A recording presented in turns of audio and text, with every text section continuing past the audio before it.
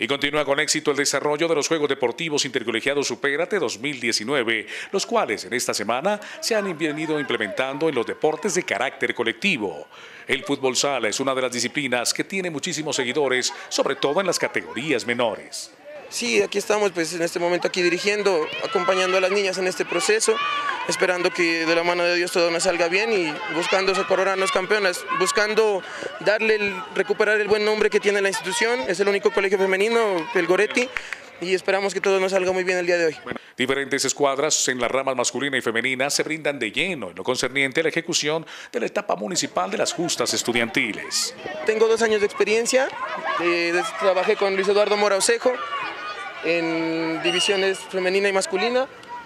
Y sí, muy bien, pues, estoy empezando, está empezando mi carrera como profesor, como técnico y gracias a Dios pues me ha ido bien, el balance es positivo, todo es por las niñas.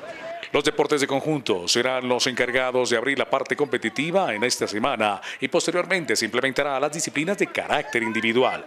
Los Juegos Deportivos Intercolegiados se constituyen en un espacio para la recreación de los menores de pasto en la práctica deportiva.